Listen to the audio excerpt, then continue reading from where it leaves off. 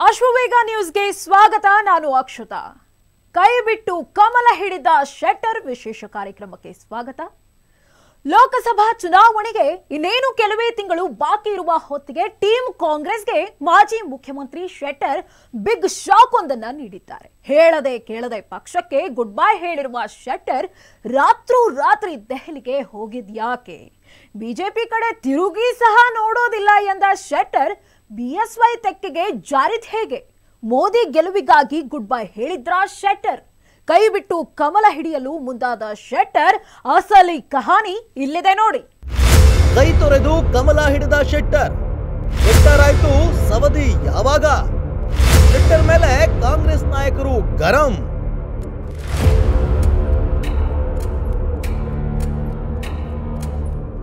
ರಾಜಕೀಯವೇ ಹಾಗೆ. ಯಾರು ಯಾವಾಗ ಯಾವ ಪಕ್ಷದಿಂದ ಯಾವ ಪಕ್ಷಕ್ಕೆ ಜಂಪ್ ಮಾಡ್ತಾರೆ ಅಂತ ಊಹೆ ಮಾಡೋಕ್ಕೂ ಆಗೋದಿಲ್ಲ ನೋಡಿ.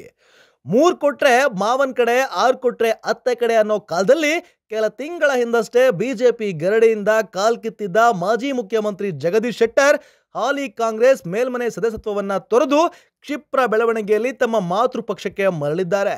ಅತ್ತ ಕೈ ಬಿಸಿ ಕರೆದಿದ್ದ ಕೈ ಮನೆಯಿಂದ ಶೆಟ್ಟರ್ ಜೂಟ್ ಅಂದಿದ್ದಾರೆ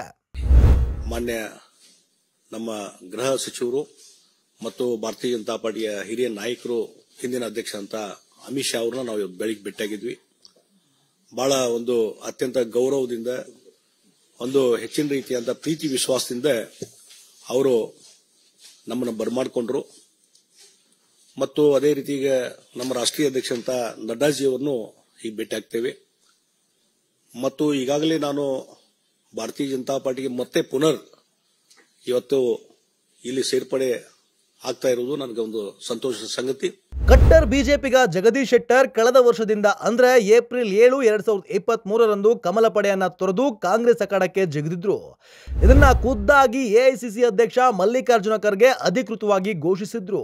ಇಷ್ಟೆಲ್ಲ ಆದ್ಮೇಲೆ ಮಂತ್ರಿಗಿರಿ ಮೇಲೆ ಕಣ್ಣಿಟ್ಟಿದ್ದ ಶೆಟ್ಟರ್ಗೆ ಕಾಂಗ್ರೆಸ್ನಲ್ಲಿಯೂ ಆಗಿದ್ದು ಮಹಾದೋಕ ಒಂದ್ ಸುತ್ತು ರಾಜಕೀಯ ಪಯಣ ಪೂರ್ಣಗೊಳಿಸಿದ ಅರವತ್ತೆಂಟು ವರ್ಷದ ಜಗದೀಶ್ ಶೆಟ್ಟರ್ ಕಳೆದ ತಿಂಗಳಷ್ಟೇ ತಮ್ಮ ಹುಟ್ಟುಹಬ್ಬವನ್ನ ಆಚರಿಸಿಕೊಂಡಿದ್ರು.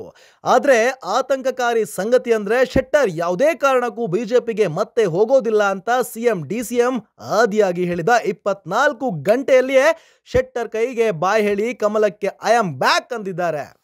ಭಾರಿ ನಿರೀಕ್ಷೆಯನ್ನ ಹುಟ್ಟಿಸಿದ ಬಿಜೆಪಿಯ ಮಾಜಿ ನಾಯಕ ಜಗದೀಶ್ ಶೆಟ್ಟರ್ ದೆಹಲಿಯಲ್ಲಿ ಮಾಜಿ ಮುಖ್ಯಮಂತ್ರಿ ಯಡಿಯೂರಪ್ಪ, ರಾಜ್ಯ ಬಿಜೆಪಿ ಅಧ್ಯಕ್ಷ ಬಿವೈ ವಿಜಯೇಂದ್ರ ಅವರ ಜೊತೆ ಕೇಂದ್ರ ಸಚಿವ ಅಮಿತ್ ಶಾ ಅವರನ್ನ ಭೇಟಿ ಮಾಡಿ ಮಾತುಕತೆ ನಡೆಸಿದ ನಂತರ ಶೆಟ್ಟರ್ ಅವರು ಬಿಜೆಪಿಗೆ ಮರಳಿದ್ದಾರೆ. ಅತ್ತ ಕಾಂಗ್ರೆಸ್ ಮಾತ್ರ ಲೋಕಸಭಾ ಸಮರಕ್ಕಾಗಿ ಮೀಟಿಂಗ್ ಮೇಲೆ ಮೀಟಿಂಗ್ ಮಾಡಿ ಪಕ್ಷದ ನಾಯಕರನ್ನೆಲ್ಲ ಒಟ್ಟು ಹಾಕಿ ಲೋಕಸಭೆ ಗೆಲ್ಲಲು ಸಖತ್ ಹೋಮ್ವರ್ಕ್ ಮಾಡುವಾಗಲೇ ಶೆಟ್ಟರ್ ಪಕ್ಷದಿಂದ ಕಾಲ್ ಕಿತ್ತಿದ್ದು ಕಾಂಗ್ರೆಸ್ಗೆ ಮಾತ್ರ ಶೆಟ್ಟರ್ ಶಾಕಿಂಗ್ ನುಂಗಲಾರದ ತುತ್ತಾಗಿದೆ. ಇನ್ನು ಶಾಕಿಂಗ್ ಸ್ಟೇಟ್ಮೆಂಟ್ ಕೊಟ್ಟಿರುವ ಶೆಟ್ಟರ್ ಬಗ್ಗೆ ಕಾಂಗ್ರೆಸ್ ನಾಯಕ ಎಂ ಬಿ ಪಾಟೀಲ್ ಸೇರಿದಂತೆ ಲಕ್ಷ್ಮಣ್ ಸವದಿ ಕೂಡ ಕೆಂಡಾಮಂಡಲವಾಗಿದ್ದಾರೆ. ಇನ್ನೇನು ಸೆಕೆಂಡ್ ಇನ್ನಿಂಗ್ ಶುರು ಮಾಡಿರುವ ಶೆಟ್ಟರ್ ಅವರ ವರ್ಚಸ್ಸು ಕದರ್ರು ಮತ್ತೊಂದು ಹಂತಕ್ಕೆ ಜಂಪ್ ಹೊಡೆದಿದೆ. ಆದ್ರೆ ಇದರ ಅಂತಿಮ ತೀರ್ಪು ನೀಡಬೇಕಾಗಿರುವುದು ಮುಂದಿನ ಲೋಕಸಭಾ ಚುನಾವಣೆಯಲ್ಲಿ ಮತದಾರ ಪ್ರಭುಗಳು ಅಷ್ಟೇ. Lokesh D Shikaripura, news desk Ashwavega